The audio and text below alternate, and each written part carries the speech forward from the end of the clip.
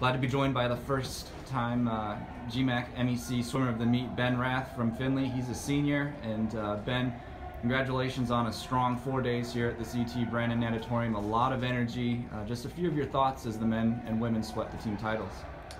Um, I mean, it's kind of just what we've been uh, working towards all year.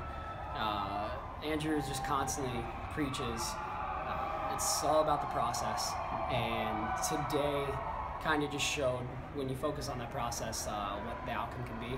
And I mean, we just had a meet, or we just had an awesome meet, uh, fun four days. We were just all very relaxed, and we just came here and had fun. We knew we were going to do well.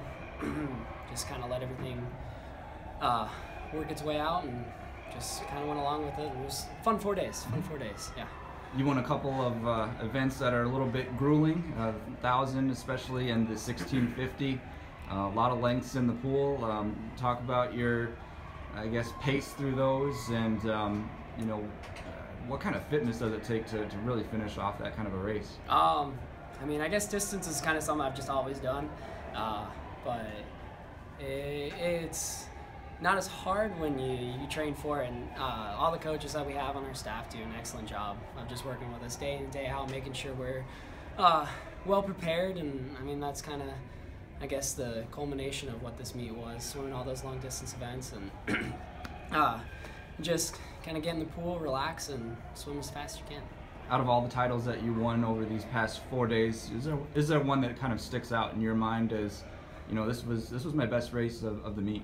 Um, the two free that we had on Thursday night, uh, coming into this meet, I think I was like uh, second seeded or something like that, and it's not my best event. It's something I've always kind of uh, struggled with uh, just personal level, and uh, uh, getting that win on the outside lane, it was really fun. Just kind of uh, went out there and just had one of the better races of the week, and I was fortunate enough to touch first. It's fun to see, you know, the Oilers men's and women's teams out there supporting each other. I mean, there's just a lot of energy in this building the last four days. Um, talk about how much that support means, uh, you know, the mutual support that you get from each program for each other. Um, it's just it's the culture that we have on our team. Uh, again, it starts it starts with the coaches. Uh, it's all the preparation, everything that they, get, or they put us through, and then it stems down just from the leadership that we have on the team. Uh, and it kind of just it's infectious. Uh, we all like to have fun. We all we all knew we were well prepared for this meet, and just came out here had fun, and it was just just part of our culture. Now looking forward. Um, the magic number that I've heard thrown out there for number of national qualifiers for you guys is 20. But uh, what what does uh, what's the next step for the program to get ready? Uh, well, we still have uh, we still have some work to do.